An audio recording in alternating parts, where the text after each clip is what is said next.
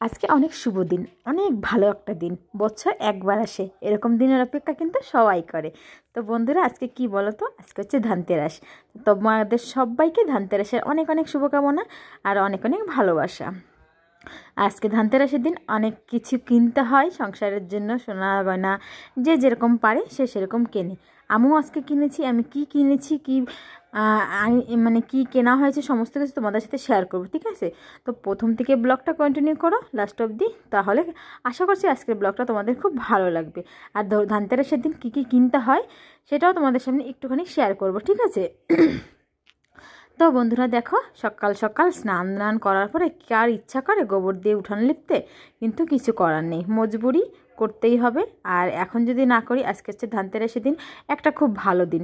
সকালবেলা সমস্ত বাসি কাজ করা হয়ে গেছে ঘর বাড়ি মোছা হয়ে গেছে সব কিছু হয়ে গেছে। বাট গোবর এখনই পেয়েছি, তো ভাবলাম চলো। ধানতেরাসের দিন ঘর দুয়ার তো মোছা হয়েছে, কিন্তু ঘর উঠানটাও একটু লিপে রাখি। দুদিন ধরে তো উঠান বাড়ি পয় পরিষ্কার করেছি। তো যে পরিমাণে ধুলা হয়েছিল না, ভুট্টার যে ধুলাগুলো হয়েছিল, তো সেগুলো কিন্তু উড়ে উড়ে প্রচণ্ড ঘরে আসছে। তো যতক্ষণ না উঠানটা লিপছি, ততক্ষণ আর মনে আর শান্তি হচ্ছে না।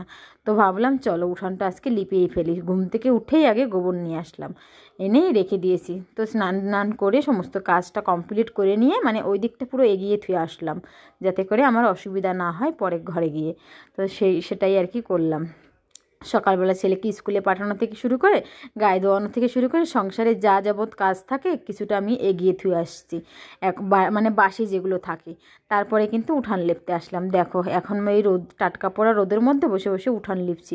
বেশ ভালোও লাগছে, রোদটা গায়ে পড়ছে। কেননা, হচ্ছে শীতের রোদ তো, বেশ গায়ে লাগছে না অতটা। আমাদের এখানে প্রচণ্ড ঠান্ডা পড়েছে, প্রচণ্ড ঠান্ডা। তাই জন্য অতটা গায়ে লাগছে না রোদটা, বেশ ভালো লাগছে আর কি। রোদের মধ্যে। তো দেখো মাথায় শ্যাম্পু করেছিলাম, তাই জন্য চুলটা ছেড়ে দিয়েছি। তো ছেড়ে মানে চুলটা একটু কোনোরকম মানে একটু সাজুগুজু করেই আর কি কাজ বাজে লেগে পড়লাম। ওই সাজু বলতেই স্নান করে যে মাথাটা সিঁদুরটা পড়তে হয় ততটুক তো করি, তার বেশি তো আর আমি আর কী বা করি, তাই না? তারপরে চলে আসলাম, দেখো, গরম গরম সুজির হালুয়া বানিয়েছিলাম। বানিয়েছিলাম বলতে কি, কাকাদের ঘর থেকে এটা পাঠিয়ে দিয়েছিল। এটা একটা মন্দিরের ভোগ। তো সেটা আমি ঘরে একটু গরম করে খেয়ে নিচ্ছি। বাবাকে দিয়েছি, মিষ্টিকে দিয়েছি। এখন আমি একটু খেয়ে নিচ্ছি। মানে সকাল থেকে শুধু কাজই করেছি। খাওয়ার খাওয়ার আর সময় পাইনি। তো ভাবলাম, চলো এখন একটু খেয়ে নিই। তারপরে তো আরও কাজ আছে। তো সেগুলোও করব ধীরে সুস্থে। তো একটু হেসে দিয়েছিলাম, আমার পাশ থেকে একটা দেওয়ার যাচ্ছিল, আমার সাথে একটু মস্করা করছিল। তো বলল যে, তোমার দিকে দেখতে দেখতে আমি ড্রেনে ঢুকে যাচ্ছি। তো আমি আবার বললাম, পরের মানে পরের বউর দিকে তাকাতে গেলে তো ওরকম হবেই। যাই হোক, ওর সাথে একটু মস্করা করে চলে আসলাম ঘরে। উঠোন কিন্তু আমার ল্যাপা হয়ে গেছে। অল্প একটু গোবর পেয়েছিলাম, আর একটু কিছুটা বাকি আছে, সেগুলো কালকে লিখব। তো এখনও এসছি, বাসন, দেখো কত পরিমাণে সকালবেলার বাসন হয়েছে। তো দেখো, বাসন কটা নিয়ে যাব। এখন এই গামলাটার মধ্যে বাসন, আগের রাত কালকে মেজে রেখেছিলাম, সেই বাসনগুলো ছিল। তো সেগুলো আর কি থালের স্ট্যান্ডে তুলে রাখলাম। এখন এই বাসনগুলো গুছিয়ে নিচ্ছি। গুছিয়ে বাইরে নিয়ে দেবো। কেননা এত পরিমাণে বাসন হয়েছে এইখানে ধোয়াই যাবে না। তো ভাবলাম, চলো বাইরে নিয়ে আরামসে সুন্দর করে বসে বেশ কিছুক্ষণ ধরে মেজে টেজে নিয়ে আসি আর কি। তাহলে ভালো লাগে। আর এক গাদা বাসন হয়ে গেলে না, একটুখানি জায়গার মধ্যে জলের তো সেরকম আমার সুবিধে নেই, তো অসুবিধা হয় যার জন্য। তারপরে দেখো সকালবেলা যে টিফিন টিফিন করা হয়েছিল, ছেলেকে আমি সুজির হালুয়া বানিয়ে দিয়েছিলাম, সেসব করা হয়েছিল। তো বাট সে, তারপরে কিন্তু গ্যাসের পরিস্থিতি খুব খারাপ হয়ে গেছে। ওই যে মশার সময় পেলাম না, চলে গেলাম উঠান লিপতে। তো ভাবলাম, চলো গ্যাসটা আগে ভালো করে মুছে নিয়ে, ধুয়ে একদম ইয়ে করব। তারপরে তো আবার দুপুরবেলা রান্না বান্না আছে, তো তাই জন্য আর কি। এখানে দেখো, আমি হচ্ছে বাসনগুলো সব গামলা থেকে নামিয়ে একটু জল দিয়ে রাখছি। কেননা চায়ের বাসন তো, দুধের চা বানাতে গেলে দেখবে দুধের বাসনগুলো অনেকটা মানে লেগে থাকে, শুকিয়ে থাকে। তো অনেকক্ষণ ধরে ছিল, যে জন্য ভিজানো ছিল না, শুকিয়ে গেছিল। আর বাসন ধুতে গেলে এরকম একটু জল দিয়ে ধুলে বেশ ভালো হয় যেসব লেগে থাকে সেগুলো কিন্তু উঠে যায়। বেশি একটা মানে কষ্ট করতে হয় না। তো তারপরে দেখো বাসনগুলো সব এক এক করে করে বাসনগুলো মেজে নিচ্ছি। আর হ্যাঁ তোমাদের কিছু কথা বলছি। আজকে ধানতেরাস, কে কী কিনেছো? অবশ্যই আমাকে বলে কিন্তু, ঠিক আছে? তো আমি তো হচ্ছে কি কিনেছি তোমাদের তো সেটা সব অবশ্যই দেখাবো। কিন্তু ব্লগটা কন্টিনিউ করলেই দেখতে পাবে আমি কি কিনেছি আজকে। আর কি কি কিনতে হয়? জানি না কার কতটা কি মতামত আছে বাট আমি যতটুকু জানি, আমি ততটুকুর মধ্যেই চেষ্টা করেছিলাম যে টুকিটাকি কিছু কিনে নিয়ে আসি আজকে। তো সেইভাবে তো আমাদের সক্ষম নেই যে আমার সোনাদোনা কিনে পড়ব তো যাই হোক, যতটুকু পেরেছি ততটুকুই তোমার মানে আনা হয়েছে বাট এনেছি আর কি তো যাই হোক, এখানে দেখো কত পরিমাণে বাসন ছিল, এত বাসনে গামলাটা পুরো ভরে গেছে। তো বাসনগুলো সব কিছু ধুয়ে ঠুয়ে নিয়ে যাব ঘরে। তো বন্ধুরা দেখো, তোমরা আমাকে অনেকেই বলেছ যে অন্য অন্য রকমের ভিডিও দাও।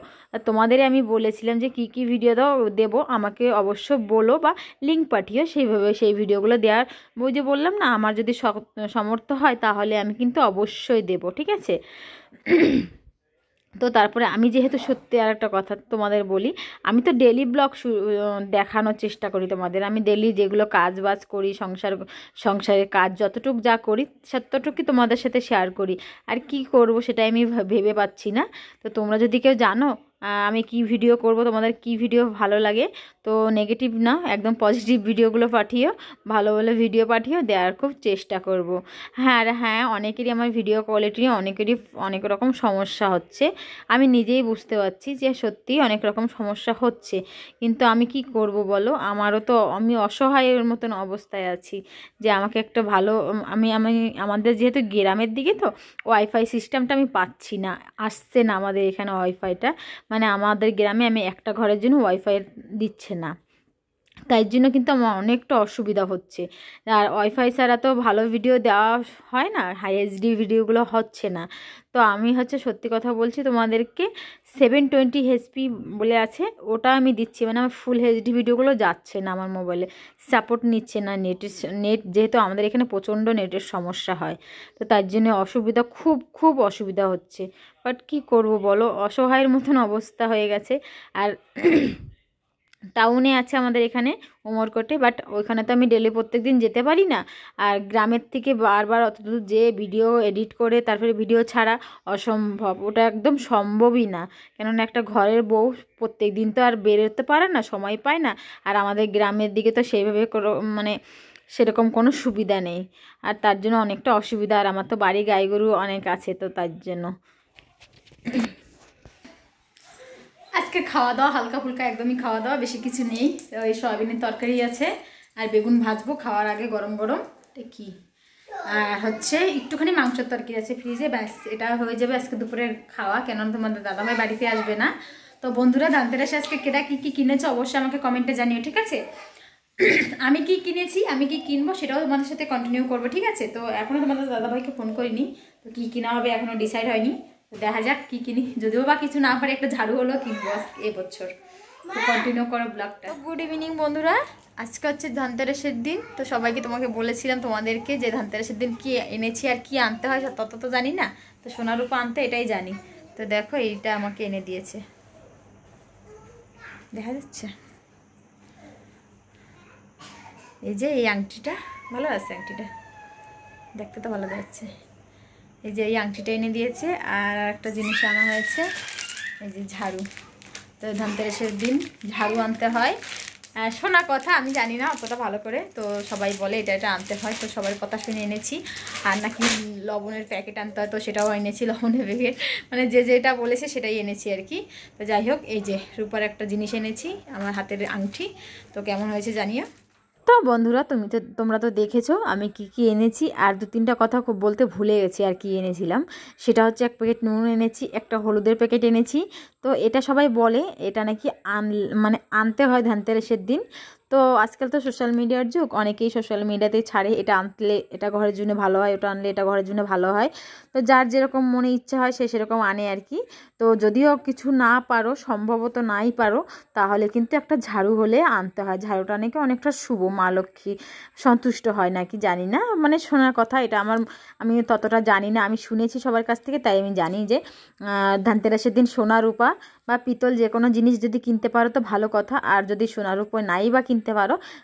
কমসে কম একটা ঝাড়ু হলেও ঘরে নাকি আনতে হয়। আর ঝাড়ু নাকি অনেকটা শুভ। অনেকেই বলে, অনেকেই কেনে। তো আমাদের এখানে অনেকেই বলে তো তার জন্য আমিও আজকে একটা ঝাড়ু নিয়ে আসলাম। আর তোমাদের দাদাভাই আমার জন্য একটা রূপোর আংটি এনে দিয়েছে মানে ডেলি ইউজের জন্য। তো যাই হোক, আমি কিন্তু বলিনি, আমি শুধু বলেছিলাম আমাকে একটা ঝাড়ু এনে দিও। কেননা সবসময় তো পরিস্থিতি সমান থাকে না, তো তাই জন্য। তো যাই হোক, তোমাদের দাদাভাই নিজেই মনে করে আমার জন্য একটা আংটি এনে দিয়েছি। বলল যে রূপোর একটা ভেবেছিলাম কয়েন আনব, তো ভাবলাম তোমার, আমার একটা আর উপর হাতের আংটি ছিল, তো সেই আংটিটা না ভেঙে গেছে। তার জন্য বেশ কিছুদিন হয়েছে আমার হাতটা ফাঁকা ফাঁকা। তো তাই বলল যে, তোমার হাতটা ফাঁকা ফাঁকা দেখলাম, তো তা ভাবলাম যে তোমাকে এনে দিই আর কি আংটিটা। যাই হোক, এক হিসেবে ভালো হয়েছে। বেশ সুন্দর ছিল আংটিটা। আমার কাছে তো খুব ভালো লেগেছে আংটিটা। তো যাই হোক, দেখো, রাতের বেলা রান্না বান্না শুরু করলাম। আজকে ব্লগটা একদম রাত অবধি টেনে নিলাম তোমাদের সামনে। দেখো এখানে আলুটাকে সেদ্ধ করে আলুর তরকারি করেছি, কাঁচা কাঁচা লঙ্কা, কালো জিরা ফোড়ন দিয়ে। বেশ সুন্দর লাগে কিন্তু ওইভাবে কাঁচা লঙ্কার তরকারি খেতে। আর এই পুরি করব। লুচি হচ্ছে, গরম গরম লুচি আর আলুর তরকারি। এটাই হচ্ছে রাত্রিবেলার ডিনার আমাদের। আর শীতের দিন তো বেশ ভালো লাগে গরম গরম পুরি খেতে, তাই না? তো চলো খাওয়া দাওয়া করি। রান্না হয়ে গেছে গোল গোল গোল গোল ফুলকো ফুলকো ফুলকো ফুলকো লুচি ভেজে নিচ্ছি। তাহলে চলো গরম গরম ফুলকো লুচি দিয়ে আলুর তরকারি পাতলা করে কাঁচা লঙ্কা দিয়ে, উফ কী স্বাদ লাগে কি বলব তোমাদের? একদম ধোঁয়া উঠছে গরম গরম ভেজে নিয়ে আসছি দেখো। কতটা সুন্দর হয়েছে বেশ ভালো লেগেছিল খেতে। তো দেখো এখানে রাতের বেলা খেতে বসে গেছি। তো বন্ধুরা আজকে ভিডিওটা এখানেই রাখছি। কেমন হয়েছে অবশ্য জানিয়ে কিন্তু। সবাই ভালো থাকো সুস্থ থাকো। ধানতেরাসে অনেক অনেক জিনিস কেনো। কালী পুজোর অনেক অনেক দীপাবলি সবাইকে অনেক অনেক শুভকামনা। আজকের মতন সবাইকে গুড নাইট বাই।